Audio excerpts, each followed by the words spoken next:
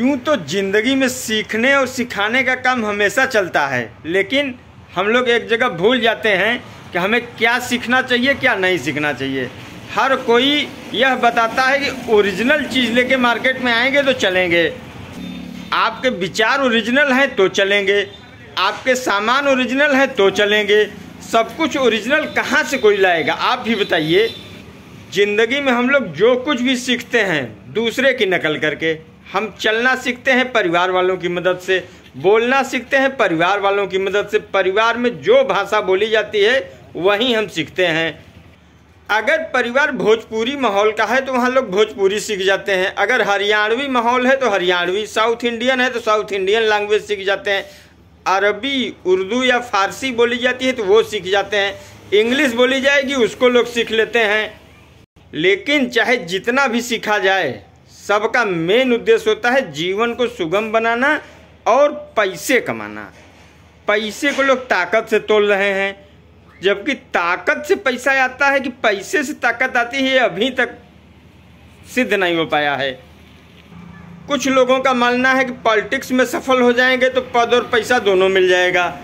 लेकिन आप इतना समझ लीजिए, पॉलिटिक्स की सबसे बढ़िया किताब का नाम भी अर्थशास्त्र ही रखा गया था चाणक्य द्वारा। तो आप समझ लीजिए, आर्थिक युग है, हमेशा रहेगा। इसको कोई नकार नहीं सकता। जो इसे नकारने की कोशिश करेगा, वो युद्ध हार जाएगा। ऐसा नहीं है कि व्यापारी भी सिर्फ़ ओरिजिनल थिंकिंग और ओरिजिनल माल लेके आते हैं। अब आप समझ लीजिए, हिंदुस्तान में फ्लिपकार्ट आया तो अमेजन की नकल करके ओला अगर आया तो उबर की नकल करके। तो इस तरह तमाम कंपनियाँ हैं। अगर एयरटेल आई तो उषा फ़ोन को निकल करके उषा अलग बात है कि नहीं चल पाया। तो हमें एक दूसरे से सीखना चाहिए। और ये कापी राइट और क्या क्या जो होता है लफड़ा कि ये सिर्फ़ मेरी प्रॉपर्टी है, ऐसा कुछ नहीं होना चाहिए। सब लोग दुनिया से सीखते हैं, सब लोग सबसे सीखते हैं। कॉपीराइट का मतलब तो इतना कठिन हो जाएगा कि कोई क लिखना भी नहीं सीख पाएगा ए बी सी डी भी नहीं लिखना सीख पाएगा। अगर ये सिद्ध हो जाता है कि ये किसने सिखाया तो उसके परिवार को रॉयल्टी देनी पड़ेगी। फिर तो पूरा ढांचा ही बदल जाएगा। रॉयल्टी और कॉपीराइट के चक्कर में आप न पढ़ें, सारी दुनिया सिर्फ़ नकल से सीखती है। आप भी सीखिए अच्छा सीखिए, बेहतर सीखिए।